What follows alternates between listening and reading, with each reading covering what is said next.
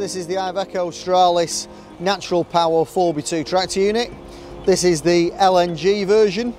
LNG is liquefied natural gas, so it's natural gas the same as comes to your home for your cooker and boiler, but it goes through a supercooling process down to minus 162 degrees C, which then means it turns into a liquid and we can store more volume of gas on the vehicle itself. This vehicle has twin tanks and therefore it has a range of 1,600 kilometres between fills. So you get out the cab, put on the PPE, you must wear cryogenic gloves that will protect you. Uh, you can see they're a longer glove, not just ordinary rigger gloves, because they must protect you down to minus 162 degrees C. You must also have your arms and legs covered, so no short sleeves or short trousers, and also then wear a visor. You can just wear goggles, you don't need to wear the full face visor if you don't have that. So put your PPE on. If you then come to the back of the tank, if you undo the cover and drop that down, you see two covers over the vent nozzle and the filling nozzle. If you remove both those covers and then you'll notice that there is an earth connection. You must earth the vehicle at all times and you can just connect that to the bottom of the, uh, the cover on the tank, but it must be present at all times. The next thing to do is to get the vent nozzle and get the airline and blow out the end of the vent nozzle with the airline.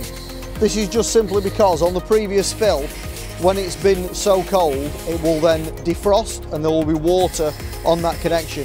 When you then connect that to the vehicle, it may not make a fully secure connection or it will then uh, create ice where it shouldn't do.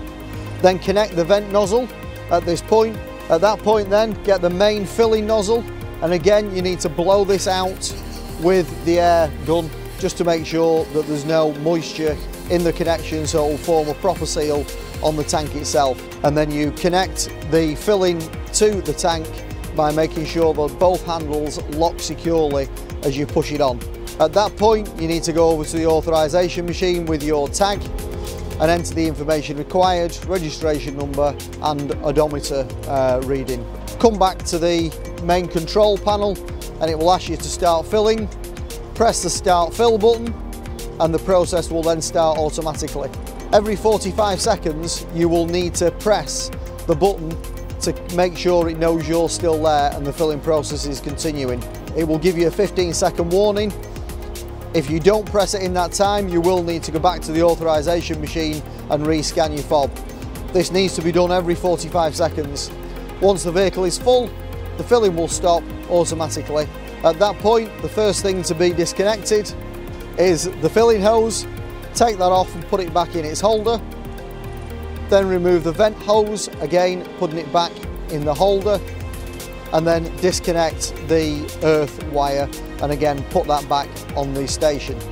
You then need to put both the caps back on the vent um, hose connector and the filling connector and then reclose the cover on the tank. If you do not close the cover properly on the tank, the vehicle will not start due to the fact that it has a micro switch in it which stops you anybody driving off with any hoses still connected to the vehicle.